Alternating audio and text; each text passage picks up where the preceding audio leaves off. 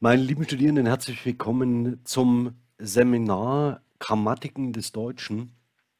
Heute mit dem ersten Thema, nämlich der sogenannten Satzgliedanalyse.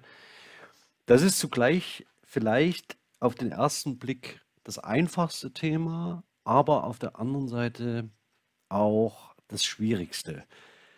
Ich würde zunächst, bevor ich mit Ihnen das Ganze durchgehe oder zumindest an einer Grammatik beschreibe, das ist gar nicht so ähm, ähm, trivial. Ähm, vielleicht ganz kurz auf den organisatorischen Rahmen noch einmal eingehen mit einem dezidierten Hinweis darauf, dass nicht nur diese Aufzeichnung weitestgehend digital barrierefrei ist, sondern auch das ganze Material für dieses Seminar digital barrierefrei sein wird. Nämlich indem ich die Präsentation, die Sie gerade sehen, als PowerPoint-Datei hinterlege und zwar sowohl in der Beschreibung unter diesem Video als auch an allen Orten, die ich Ihnen schon gezeigt habe. Das heißt sowohl auf unserer Website als auch in der Matrix-Gruppe. Ähm, meine Sprechstunde, wenn Sie Fragen haben, 13 bis 14 Uhr via Verbei. Ähm, und dieses Video ist Teil der Playlist ähm, auf YouTube zum Seminar. Ähm, noch einmal die Erinnerung und bitte darum, dass Sie mir bitte jederzeit Feedback senden können, sowohl zu den einzelnen Veranstaltungen als auch zu den Veranstaltungen in Gänze. Und alle unsere Kontaktdaten am Lehrstuhl finden Sie ebenfalls auf unserer Webseite. Zur barrierefreien, äh, zur barrierefreien ähm, Präsentation hier gehört, dass ich nur noch sprechende Links verwende, im weitest, weitestgehend auf Tabellen verzichte und, in, und alle Einzelelemente, also wie Grafiken, ausgewiesen und beschrieben habe und auch die Leseanordnung in dem Dokument präzisiert habe.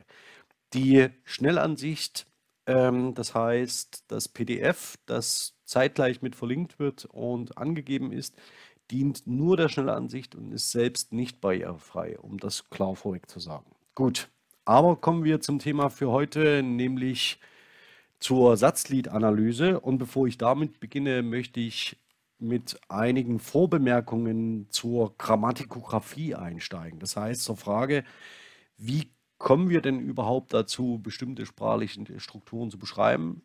Aus welcher Perspektive tun wir das und was wollen wir damit modellieren?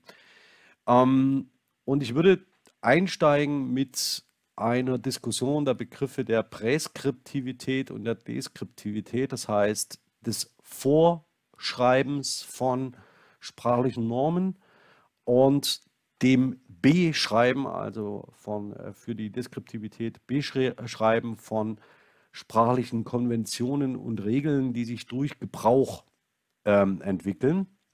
Das sind die zwei ganz grundsätzlich zu unterscheidenden Perspektiven, die man auf Grammatik, also auf die Modellierung von Sprachwissen einnehmen kann, nämlich dass man einmal eine Norm vorschreibt und zum anderen den Sprachgebrauch beschreibt. Heute sind die meisten Grammatiken und der linguistische Zugang zur Modellierung von Sprachwissen deskriptiv, so auch der, äh, die Duden-Grammatik, die heute an der einen oder anderen Stelle eine Rolle spielen wird.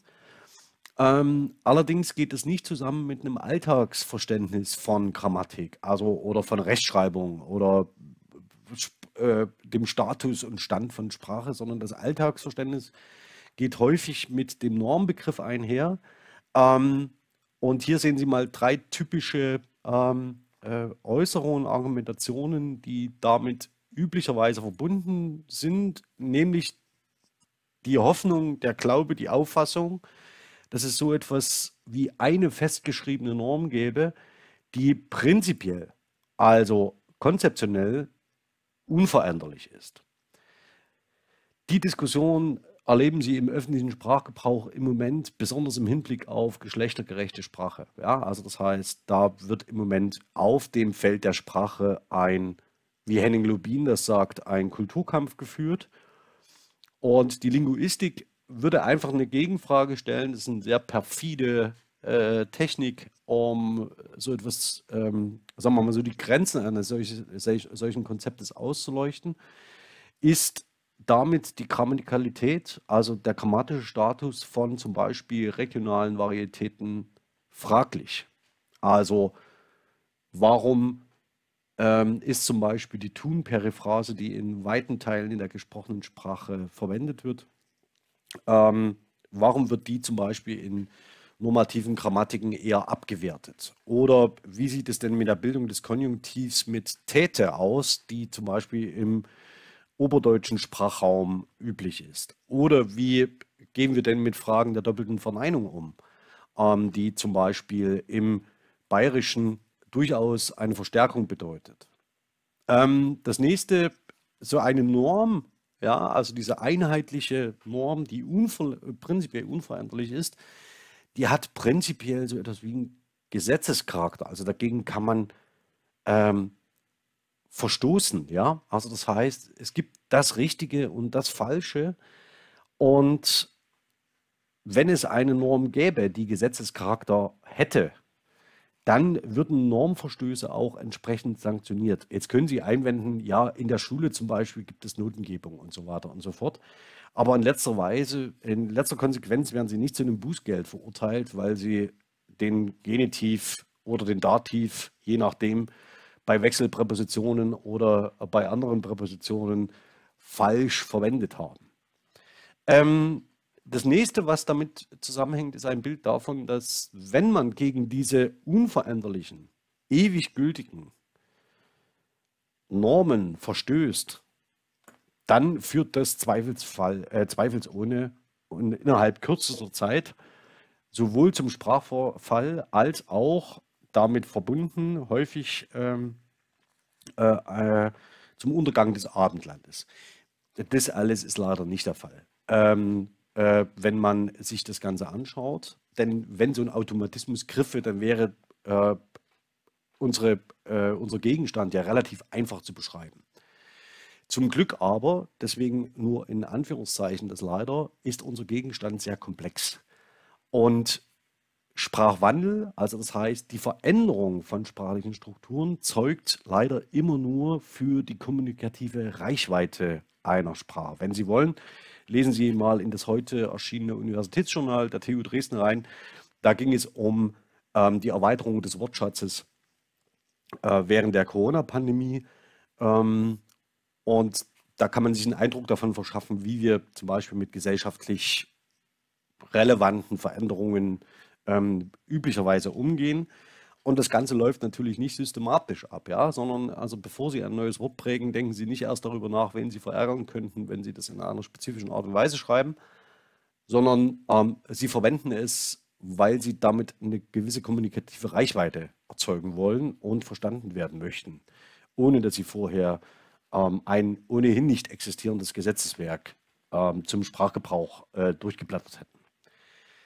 So, kommen wir mal zum nächsten und möglicherweise, dass der Eindruck, der heute entstehen wird, ist, dass diese Gesetzestexte, ja, also das heißt mehr oder weniger auf grammatikografischen Prinzipien aufruhende wissenschaftlichen Auseinandersetzungen ähm, zum äh, Sprachwissen und entsprechende Modellierungen sich selbst nicht einig sind. Ähm, das zeige ich Ihnen aber heute in diesem kurzen Input-Video. So, also vielleicht ganz kurz zusammengefasst, also ähm, zu diesen unterschiedlichen Normverständnissen von Sprache äh, immer noch ähm, eine Übersichtsgrafik von ähm, Beate Hennig von 2009, nämlich dass die Linguistik oder die Sprachwissenschaft eher ein deskriptives äh, Modell äh, beschreibt, von Gebrauchsnormen spricht, was eher Regeln sind, also Konventionen, und ähm, die Sprachöffentlichkeit eher der Auffassung sei, es gäbe so etwas wie einen präskriptiven, verpflichtenden Charakter von Normen, die irgendwie in, ein, in gesetzesähnliche Texte gegossen sind. Das ist eines der groß, größten Missverständnisse, die Sprachwissenschaft und Sprachöffentlichkeit voneinander trennen. Ähm, und an diesem Unterschied laborieren wir auch in der Öffentlichkeit ähm, mit großer Regelmäßigkeit. Also insofern ähm, ist mir das besonders wichtig, dass wir zum Einstieg in ein Seminar über die Grammatiken des Deutschen uns eben genau damit auseinandersetzen, wie so etwas auch eine, wie so eine Diskussion auch in der Sprachöffentlichkeit äh, wahrgenommen wird. Ähm, um nur ein, ein, paar mögliche Modelle äh, mal ins Spiel zu bringen, die mit Grammatik im weitesten Sinne zu tun haben, ähm, würde ich vorschlagen, dass ich einmal ganz kurz durchgehe. Die, äh, ich fange mal an mit der traditionellen Grammatik. Die wird auch gern als Schulgrammatik bezeichnet. Das ist, heißt, das ist das, was, sie, was jeder ähm, in der Schule mitnimmt an äh, grammatischem Wissen. Die ist häufig ähm, orientiert an traditionellen klassischen Grammatikmodellen, also vor allen Dingen dem Griechischen und dem Lateinischen und wird im weitesten Sinne für die Terminologiearbeit verwendet, um Sprachstrukturen zu erfassen. Das Ganze ist nicht systematisch, ähm, wirft im Detail mehr Fragen auf, als es Antworten gibt, aber es ist so eine erste Orientierungsmöglichkeit und Sie werden heute sehen, was ich damit meine.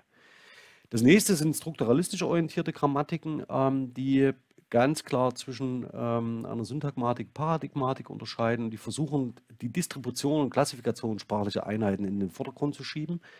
Das Ganze funktioniert im Deutschen so lange sehr gut, solange Sie sich die flektierbaren Wortarten anschauen. Ähm, und danach wird es schwierig. Allerdings sind diese strukturalistisch orientierten Grammatiken ein sehr wichtiger Bestandteil in der, innerhalb der Wissenschaftsgeschichte der, der Linguistik da daraus zum Beispiel auch, und jetzt komme ich gleich zum nächsten, Dependenz- und Valenzgrammatiken sehr stark befeuert werden, ähm, wenn es um die Darstellung von bestimmten Strukturbildungsprozessen geht äh, innerhalb der ähm, Sprachwissenschaft. Dependenz- und Valenzgrammatiken haben wir als Thema. Dann kommen wir zu so etwas wie der funktionalen Grammatik, die sowohl auf die strukturalistische Theoriebildung zurückschaut, als auch auf die traditionelle Schulgrammatik und direkt daran anschließt und die Funktionen sprachlicher Einheiten sehr stark in den Vordergrund schiebt. Allerdings lassen sich hier auch unterschiedliche ähm, äh, äh, Modelle beschreiben, mit die sprachliche Strukturen unterschiedlicher Granulierungsgrade erfassen und es ist auch nicht die funktionale Grammatik, sondern auch hier gilt, äh, man müsste das eher im Plural bezeichnen. Also es gibt unterschiedliche Grammatiken, die funktionalen Anspruch haben.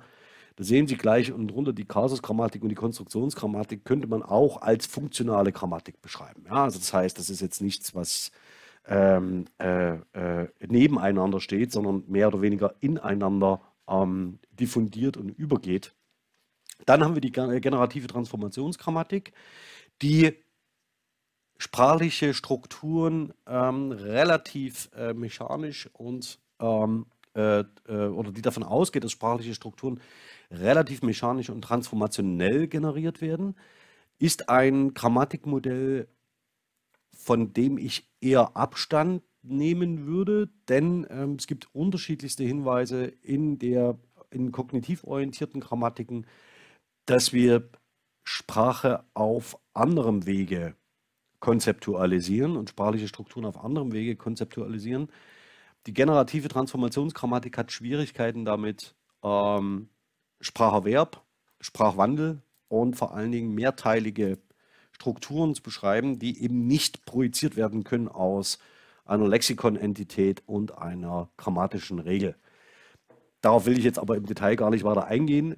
Die Transformationsgrammatik hat aber insofern eine wissenschaftsgeschichtliche herausragende Position, weil sie das gängige Paradigma innerhalb der Grammatikbeschreibung für sehr, sehr, sehr viele Jahrzehnte gewesen ist. Und aus der generativen Grammatik zum Beispiel so etwas wie die Kasusgrammatik entstanden ist. Also Fillmores Deep Cases sind eine Antwort auf die Frage, wie grammatische, wie semantische Tiefenstrukturen funktionieren, ähm, die eben äh, aus seiner Auffassung heraus sprachliche Strukturen sehr viel plausibler erklären können, also gegenstandsadäquater als abstrakte äh, Normen- und Regelmodelle.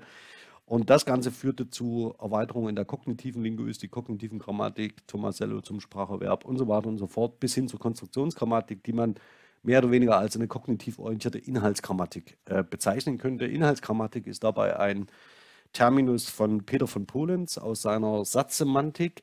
Die würde ich Ihnen, ich weiß nicht, ob man die noch guten Gewissens empfehlen kann.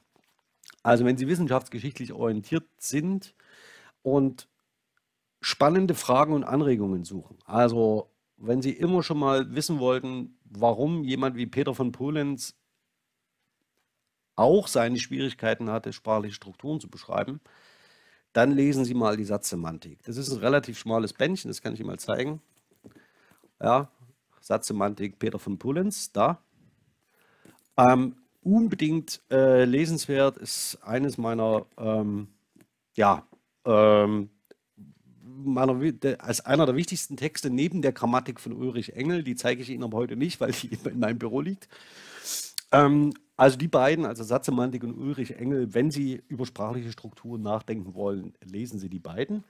Ähm, heute wird eher im Vordergrund das hier stehen, und zwar äh, die Duden-Grammatik Band 4, leider in der achten Auflage. Im Büro steht die neunte. Daneben werde ich heute mit Ihnen einen Blick werfen in äh, einen Klassiker der Satzanalyse, und zwar von Klaus Welke. Sie könnten auch lesen die Syntax von Christa Dürscheid, die steht im Moment im Büro.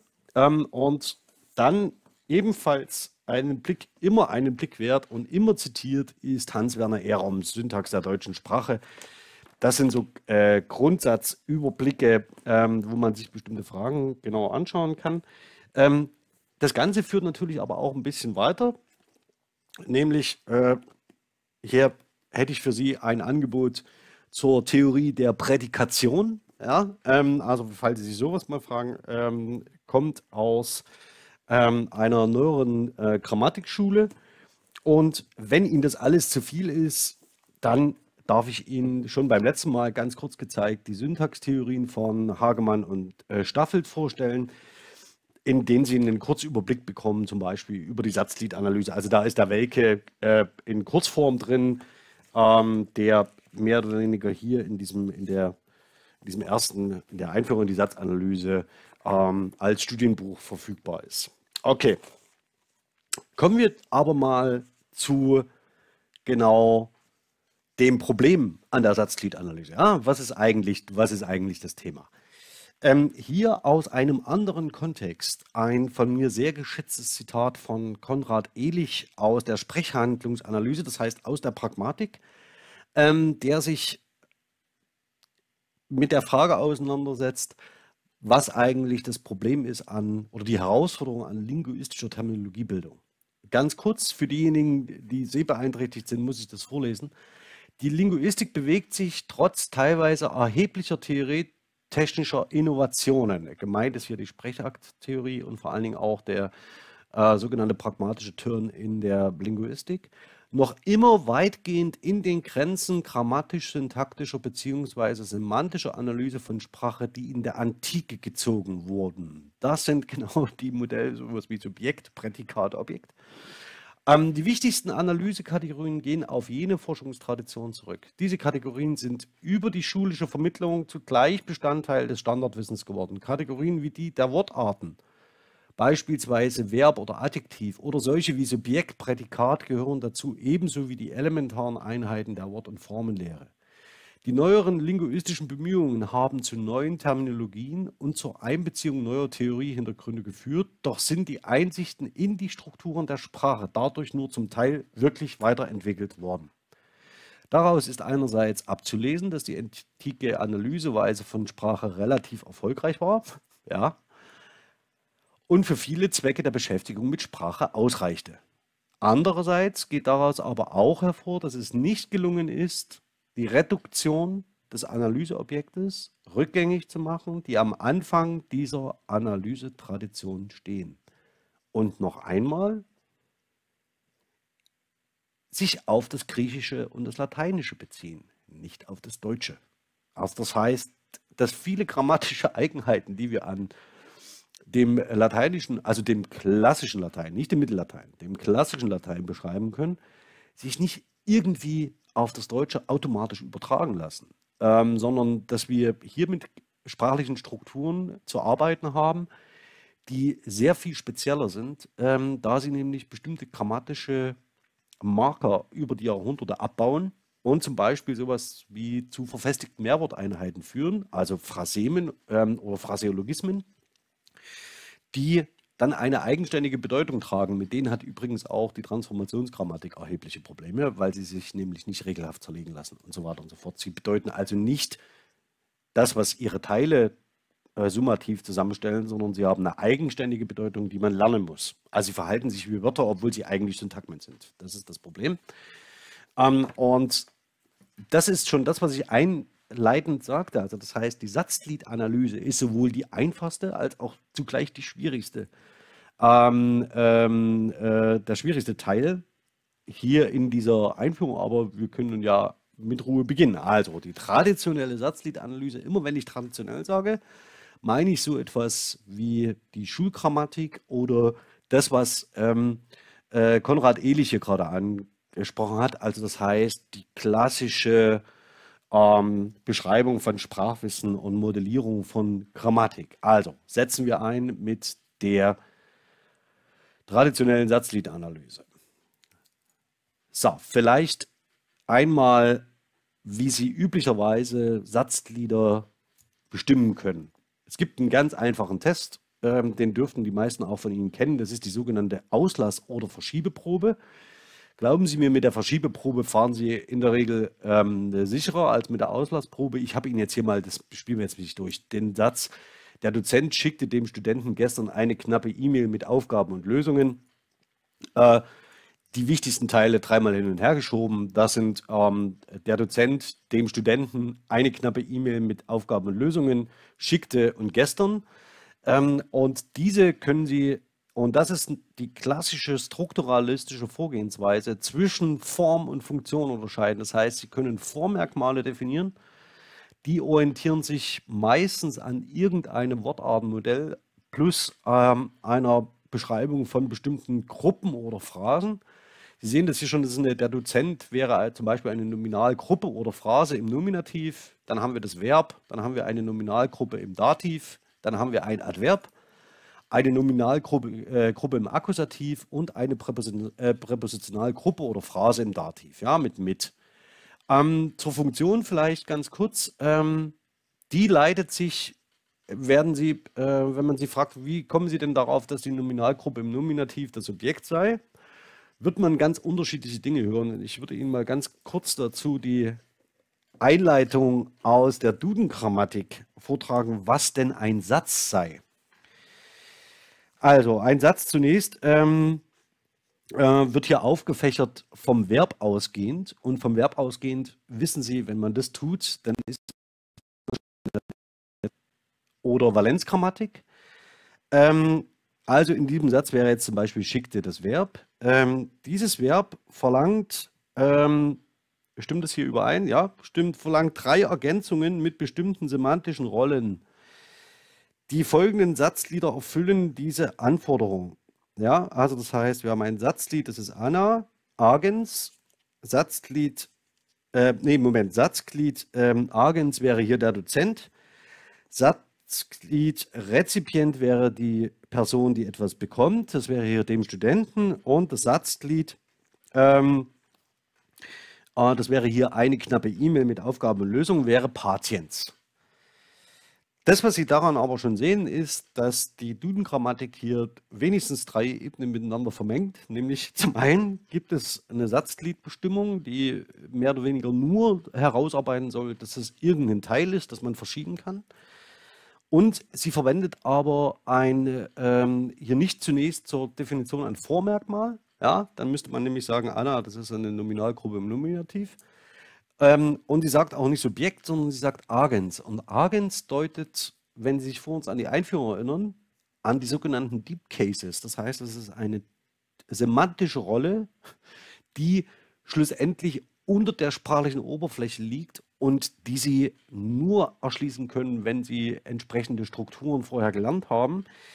Deswegen ist die äh, Duden-Grammatik hier schon relativ progressiv, aber zugleich auch sehr voraussetzungsreich. Ja? Also die, zur Einleitung, was ist ein Satz, wird nebenbei mal äh, die semantische Tiefenstruktur von Fillmore eingeführt, ohne das irgendwie zu kommentieren.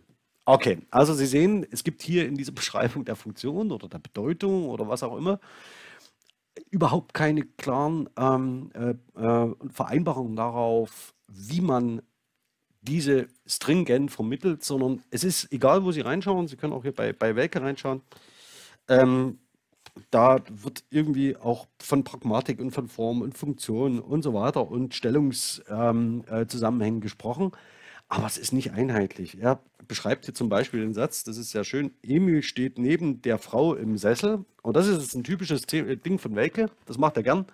Das zeige ich mal als Bild, ganz kurz ins Video, wegen Urheberrecht nehme ich es jetzt mal wieder raus. Es geht im Wesentlichen darum, nämlich ob, wenn ich den Satz sage, Emil steht neben der Frau im Sessel, ob die Frau im Sessel sitzt oder Emil im Sessel steht. Welke hat daran immer große Freude, das heißt an, der, ähm, an dem Aufzeigen der Absurdität und Ambiguitäten sprachlicher Strukturen und verwendet darauf auch einen Großteil seiner Arbeiten. Aber er benutzt es als Einstiegsbeispiel, um klar zu zeigen, dass es sich bei, der, ähm, bei bestimmten Präpositionalphrasen ähm, eben nicht zwingend um Lokaladverbiale halte, äh, handelt, sondern möglicherweise um Attribute. Und das wird hier auch in dem Satz deutlich, das habe ich versucht, ähm, hier durch Fettdruck hervorzuheben, dass nämlich Attribute oder attributive Teile keinen Satzgliedstatus haben, äh, sondern sie sind Satzgliedteile. Das ist die wichtigste Differenzierung. Alles, das, was sie verschieben können, ist Satzglied. Das, was sie nicht verschieben können, ist selbst Satzgliedteil und Attribute gehören dazu. Sie sehen das im Beispielsatz bei knapp. Eine knappe E-Mail, das wäre ein ähm, adjektivisches Attribut, ist Teil des Satzglieds ähm, hier im, wenn Sie das funktional bestimmen, Akkusativobjekts. Und dann haben wir noch eine sehr interessante Präpositionalgruppe mit Aufgaben und Lösungen. Und diese können Sie auch nicht verschieben, sondern die hängt irgendwie an E-Mail dran, also zu, an diesem Akkusativobjekt und ist deswegen als Präpositionalattribut einzustufen und damit kein eigenes Satzglied. Also Sie können ja mal versuchen, den Satz umzustellen, spaßenshalber. Ich denke, dass Ihnen das nicht gelingt. So. Damit sind wir eigentlich schon durch. Jetzt nur vielleicht die Frage, auf was wir uns einigen sollen. Ich würde mal mit den funktionalen Begriffen jetzt weitermachen, damit ähm, Sie an Ihr Vorwissen anschließen können, das Sie hoffentlich mitbringen. Und zwar würde ich das Ganze beschreiben ähm, äh, aus Eisenberg, Peter Eisenbergs äh, Grundriss der deutschen Sprache, Band 2 der Satz. Band 1 ist das Wort. Ähm, ist eine der äh, immer noch der Standardgrammatiken, die man zu diesem Thema sich anschauen kann. Und warum wähle ich das hier aus? ähm, weil er einen aus meiner Sicht sehr schönen relationalen, ein relationales Konzept dieser Begriffe Subjekt, Objekt und Prädikat entwickelt. Und die würde ich Ihnen jetzt ganz gerne vorstellen. Wie gesagt, das ist nicht das einzige Modell. Sie können ähm, so viele Grammatiken, wie Sie anschauen, ich zeige jetzt Ihnen mal diesen Stoß, ja, so viele unterschiedliche Vorstellungen davon, wie man eine Satzgliedanalyse sauber durchführt, werden Sie auch finden. Ähm, Vielleicht ganz kurz zur äh, begrifflichen ähm, Einstimmung. Ähm, er benutzt, Eisenberg benutzt Wortarten und Wortartengruppen zur Bestimmung von sogenannten Konstituentenkategorien. Das heißt, Sie sehen das hier, ich habe den Beispielsatz mal aufgefächert nach unterschiedlichen ähm, äh, Wortarten und vor allem unterschiedlichen Wortartengruppen. Wobei Sie sehen, dass die Adverbgruppe und die Pronomgruppe nicht ähm, äh, äh, äh, dort mit aufgenommen ist. Ähm, schlussendlich sind das, ist das die Auflistung der Konstituentenkategorien. Ähm, das ist einmal zur Bestimmung ganz sinnvoll und jetzt auch ähm, zur weiteren Ausdifferenzierung unterscheidet Eisenberg zwischen Einheiten und Wortkategorien. Einheitenkategorien ähm, wie Kasus und Numerus, die hier in, hinter dieser Auflistung stehen, sind zum Beispiel bei Substantiven als äh, Konstituentenkategorie flexibel, also die können wechseln zwischen den vier Kasus, die wir haben, und den zwei Numeri. Und daneben gibt es Wortkategorien, die festgeschrieben sind und dazu zählt zum Beispiel das grammatische Geschlecht ähm, und diese sind unveränderbar. Also das, die hängen faktisch am Wort. Und für diese Differenzierungen, die brauchen Sie jetzt nicht ähm, zwingend mit nachzuvollziehen. Die werden nur auf den Schaubildern, die ich jetzt als nächstes zeige, spielen die eine Rolle. Denn ähm, worauf ich hinaus will, ist, dass wir zum einen, dass er ein, so etwas wie eine Konstituentenstruktur dieses Satzes aufbaut. Den habe ich jetzt hier vereinfacht. Der Dozent schickte eine E-Mail, ähm, sodass Sie unterschiedliche ähm, äh, Konstituentenkategorien anheften können an das sprachliche Material, daraus unterschiedliche Gruppen bauen, die wiederum zu einer Satzstruktur führen. Und man hat gleichzeitig eine Markierungsstruktur, die sich auf die Einheiten und Wortkategorien bezieht. Also das heißt, die ähm, äh, Markierungskategorien nach Eisenberg. Ähm, das Ganze nur, um Ihnen jetzt mal zu illustrieren, dass man das in der Form bezeichnen kann und genauer beschreiben kann. Und ich würde jetzt nämlich ganz gern auf die äh, Relationen zu sprechen kommen, die eine Rolle oder wie Sie zum Beispiel ein Subjekt beschreiben können. Und zwar zunächst formal noch nicht im Hinblick auf die Frage, welche Semantik das Ganze hat oder welche Funktion oder welche ähm, äh, Bedeutung, sondern es geht hier um den funktionalen Zusammenhang im Satz. Also das heißt, welche Funktion übernimmt diese sprachliche Struktur im Satz? Es geht hier nicht um eine Aussage darüber, ob ähm, im Satz, ähm, Moment, was war das Beispiel? Der Beispielsatz, ähm, das folgende Beispiel. Also wenn man zum Beispiel fragte, ähm, ob der Dozent Agens sei, ja, also das heißt, das spielt überhaupt noch keine Rolle, also die semantische Struktur des Ganzen, sondern es geht um die Funktion einer sprachlichen Einheit im Satz. Okay, wenn wir über das Subjekt sprechen, dann dürften wir uns relativ einig darüber sein, dass das hier in diesem Beispielsatz der Dozent ist. Und ähm, Eisenberg schlägt vor, dass man diese funktionalen Begriffe, die Sie gelernt haben in der traditionellen Grammatik, als Relationen beschreibt. Und zwar als syntaktische Relationen mit einem Vorbereich und einem Nachbereich. Vielleicht ganz kurz zur Definition. Das Subjekt ähm, definiert sich so, im Vorbereich der Subjektrelation, Subjekt, treten Nomina und Nominalgruppen im Nominativ auf. Zu Infinitive, indirekte Fragesätze und konjunktionale Nebensätze. Im Nachbereich der Relation treten Vollverben, Copularverben und Modalverben auf. Und damit haben Sie eine sehr schöne formale Bestimmung, ähm, die sich zunächst auf die Form bezieht, also auf ähm, äh, Kategorien und funktional eine Relation beschreibt. Also damit sind Sie erstmal relativ sicher und müssen nur keine Aussagen darüber machen, ob ähm, ein Subjekt dadurch ausgezeichnet sei, dass es Agensstatus habe. Das trifft nämlich leider nicht auf alle zu. Also das Wetter ist schön. Äh, sehen Sie schon, da haben Sie auch ein Subjekt wie Wetter. Ja. Äh, was zutrifft, ist die Beschreibung der syntaktischen Relation nach Eisenberg, aber das Wetter ist nicht Agens. Ähm, kommen wir mal zum Prädikat, das wäre das zweite wichtige. Im Vorbereich der Prädikatrelation treten Formen von Vollverben und Copularverben auf. Ähm, das heißt, wir haben eine unterschiedliche, ähm, hier eine unterschiedliche, äh, davon unterschiedliche äh, Konstruktion, nämlich dass man tatsächlich im Vorbereich das Prädikat definiert, ähnlich wie beim Subjekt, und dann tatsächlich eine, äh, das Ganze an eine Satzstruktur anhängt. Ähm, hier in dem Fall ähm, wäre das der Satz äh, und diese Prädikatrelation kann äh, sich auf unterschiedliche Entitäten beziehen.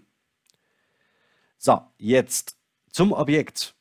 Im Nachbereich der Objektrelation ähm, tritt eine Form des Vollverbs auf.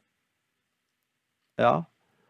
Das heißt, das ist hier eine, äh, die Definition ist ja umgeschrieben, es verhandelt, äh, äh, verhält sich faktisch wie die Subjektrelation. Ähm, tritt eine Form des Vollverbs auf, von dem das Objekt regiert wird. Im Vorbereich stehen Nominale im Genitiv, Dativ und im Akkusativ. Das wäre das direkte Objekt, ist das Objekt im Akkusativ. Und an die Stelle des direkten Objektes können zu Infinitive, indirekte Fragesätze und konjunktionale Nebensätze treten. Und eine weitere Möglichkeit ist die Besetzung mit Präpositionalobjekten. Das heißt, die Objektrelation ist der Subjektrelation sehr, sehr ähnlich, ähm, denn sie lässt sich unterscheiden, dass im Vorbereich Nominalgruppen andere Kasus annehmen. Das heißt, andere Einheiten, also dass die Einheitenkategorie anders besetzt sind, wobei alle anderen äh, Kategorien identisch bleiben können. Und das gelingt wiederum nur, und das ist jetzt wichtig, weil zusätzlich ein sogenanntes Prädikatsnomen unterschieden wird. Das Prädikatsnomen verhält sich nämlich formal wie ein Subjekt. Und ich lese es mal ganz kurz vor. Das Prädikatsnomen ist ein Nominal im Nominativ bzw. ein Adjektiv in Kurzform im Vorbereich und im Nachbereich der Relation äh, des Prädikatsnomen steht immer eine Form eines Copularverbs. Das heißt, schlussendlich können Sie in so einem Beispielsatz wie bei Peter ist Lehrer anhand der Form nicht entscheiden, ob es sich um eine Subjektsrelation handelt oder um eine Relation des Prädikatsnoms. Ähm, denn tatsächlich, oder ein Objekt, ja, äh, wenn Sie den Subjektbegriff ansetzen, wäre möglicherweise so, sowohl Peter als auch Lehrer werden, haben beide Subjektqualität. Und um das zu kategorisieren, behilft sich Eisenberg dadurch, das ist übrigens eine, eine, eine typische ähm, Interpretation an der Stelle, dadurch, dass er bestimmte Copula-Verben ähm, ins Spiel bringt, die er von anderen Verben unterscheidet. Das sind im Deutschen sein, werden, bleiben. Das sind die drei wichtigsten. Daneben gibt es noch eine ganze Menge anderer, die Copula-ähnliche Eigenschaften haben. Äh, und es gibt auch andere syntaktische Strukturen, die Copula-ähnliche Qualitäten haben. Also das sind Verbinder.